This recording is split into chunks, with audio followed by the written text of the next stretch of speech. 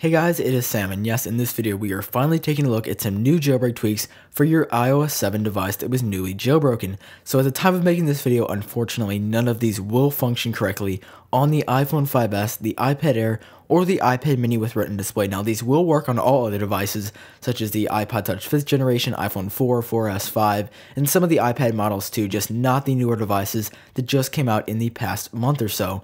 So now to start off, I want to show you guys a tweak called Switch Spring. Now this is very unique because of the way it is implemented into your device. So if you go ahead and go into the multitasking view, swipe over and then swipe up on your home screen icon, you can see it will come up with a menu that says Restart Springboard.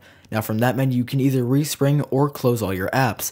I'm going to go ahead and close my apps first, which doesn't require a respring. And you can see when I go back in the multitasking view, there's no apps left to see because this tweak ingeniously just got rid of all of them. Now I don't have to swipe through them. Going back into the menu, we can also restart our springboard, which of course will just respring your device like so. Next tweak I've got for you guys is called Lock Screen Tool. Now to configure this, you will have to go to the Settings app, scroll down to where all your other tweaks are listed, and go ahead and click on the Lock Screen Tool settings. Once you are there, go ahead and enable the option if you would like to show the text on the lock screen. Now I just put the text don't slide to unlock just for comical reasons. When you go ahead and go to your lock screen, you can see it will say instead of slide to unlock, it will just say don't slide to unlock.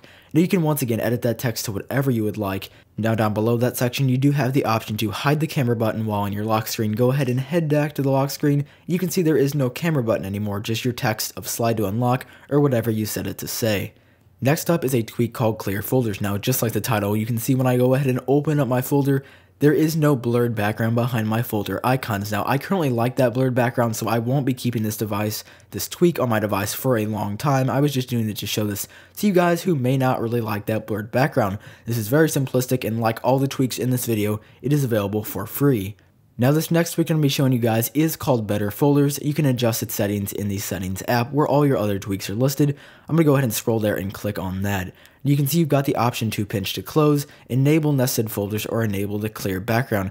Now enabling the clear background option will do the exact same thing as the last tweak I showed you did. It will just completely remove that blurred background from your icons. So I'm going to leave that off because I don't like that. You can also enable nested folders. However, I'm currently uh, honestly not sure what that does. I couldn't really get it to work. I thought it would let you put a folder inside a folder, but it didn't let me do that. So I'm going to go ahead and just leave that off. But I can also enable pinch to close. And the pinch to close option is the reason I got this tweak. You can see when I go back to my lock screen, or my home screen might I say, I can go into a folder and instead of just clicking out of it, I can automatically just pinch my fingers and you can see the folder will automatically close. Now this is a great tweak for you if you are a gesture fan like myself. I would definitely recommend downloading this if you like using gestures on your iOS device. And the final tweak I will be showing you guys in this video is called NC All Only. Now the title is quite misleading because if we go ahead and launch the settings section of this tweak, you can enable more than just the all section notification center. What this tweak does is removes all of the other sections but the all section. Now, like I said,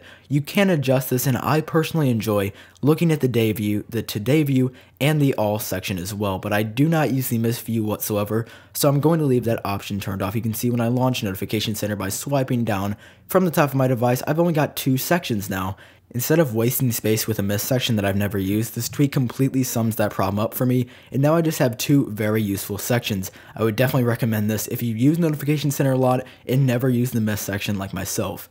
So those are my top 5 Cydia tweaks for jailbreaking your device on iOS 7 with Evasi0n 7. If you want to see more Cydia tweaks and iOS tutorials, great stuff like that, make sure you do hit the subscribe button because then you're going to be notified in your subscription feed whenever I upload a new video. And also, if you did enjoy this video, make sure you do hit that like button because it lets me know that you guys do enjoy these videos that I am making. But anyway, thank you very much for taking the time to watch this video. I hope you did enjoy it, and I'll catch you guys in the next one.